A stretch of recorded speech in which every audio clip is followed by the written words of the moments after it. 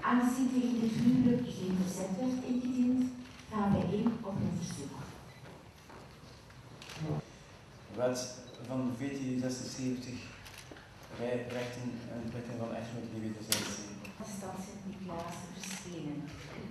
Geert Alfons Rachel Blok. Ik heb toen al eh, een eerste mediastorm meegemaakt en ik heb dan ook wel u gebeld ook. Te zeggen van kijk, er zal misschien wat pers aanwezig zijn. Nu is iets meer dan ik gedacht had.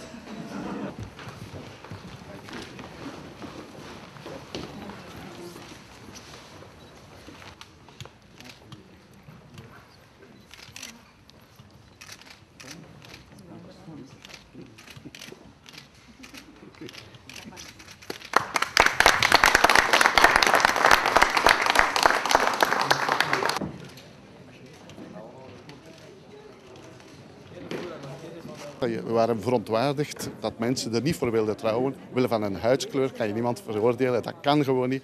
En daar wilden we een statement tegen doen. En eh, god, al dat persspektakel, dat hoefde niet, maar het is erbij. En laten we ons ook van genieten, waarom niet? Van harte geluk wensen. Ik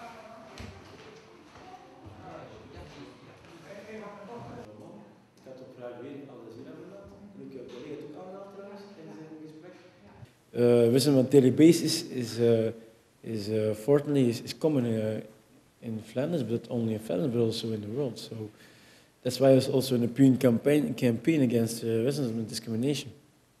But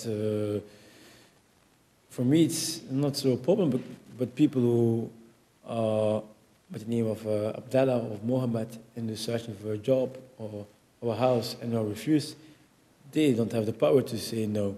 Don't have the power to, to do something with it. So uh, that's for me is more important than what's happened to me because I have the position to say it's not my problem, it is problem of uh, the three couples.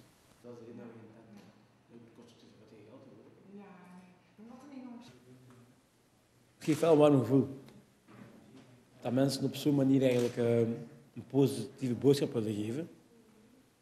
Ehm, dat eigenlijk eh, mijn stad op zo'n manier naar buiten kan komen op een positieve manier. Om te tonen dat Sint-Niklaas, maar ook Vlaanderen op die manier eh, wel staat voor tolerantie en diversiteit. En we toch een beetje van dat slechte imago eigenlijk eh, weggeraken.